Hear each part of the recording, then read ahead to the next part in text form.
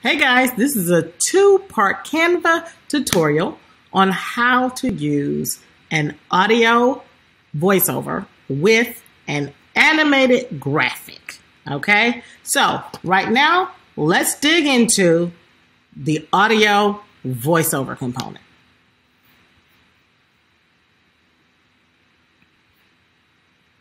So the first thing is you have to have some idea of the text that you want to say.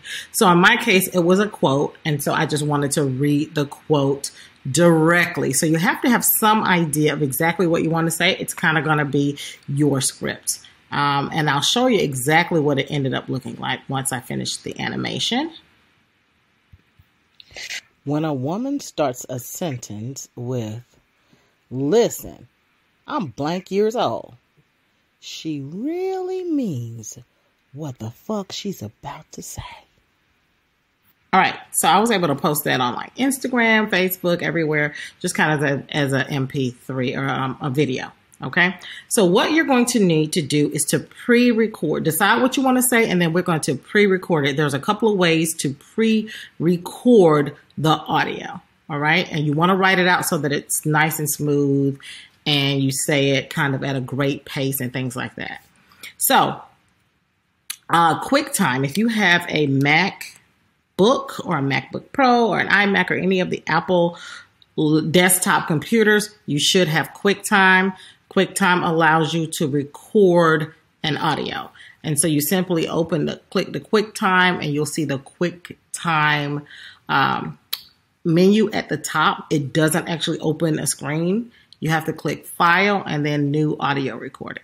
Okay? And then that'll bring up the interface for you to actually record the audio. So if I go New Audio Recording, it's right here. And then I can click this little button. It'll record the audio and then you can save it onto your computer, which I've already done. All right.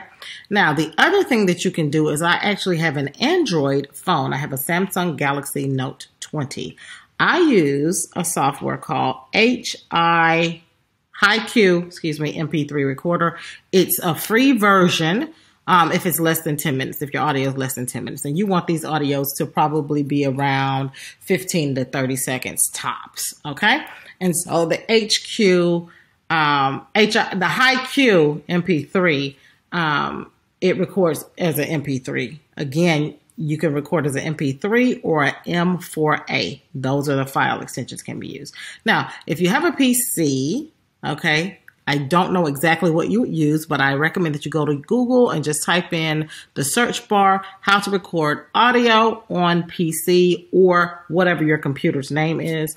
I also don't have an iPhone, so I don't know exactly what you would use for an iPhone. I don't know if you have QuickTime or not but it's an easy search to figure out how to record audio files. Again, you want an MP3 or an M4A file. Okay.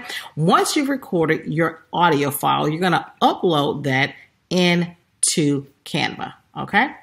So we're going to choose the template to upload it um, with. Okay. So how do you get to it? You kind of have to go to open a document any document. Um, and I'm going to say go ahead and choose your template. So if I go to template and then Instagram posts, right? It's going to pull up the template. And you can do this in advance if you like. And then I'm going to look for the subcategory that says animated Instagram posts right here. And you can search for it, just animated Instagram posts right up here in the search and it'll pull it up. And if you're not a designer, you can just choose something that you like. Okay.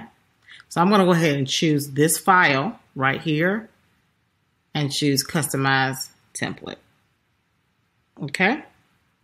This is going to open the uploads section where I can actually click right here. It says uploads. And this is going to be the things that I've uploaded. So you see these are images or videos or audio. Okay, and as you can see, I've already uploaded it, but you would simply go to upload media and then you would search browse to find the file and then upload it, which I've already done. Okay, once you upload it, you can see this already had, okay, it already had um, audio on it. I'm going to go ahead and select it. It brings up this menu here and I'm going to delete because I don't want to use that one. And then I'm just going to simply click, all right, the one that I do want to use. And you see every strike brings me closer to the next home run. Okay? Every strike brings me closer to the next home run. Now, one of the things that you'll see, okay, when I click out here is that this is 6.6 seconds long.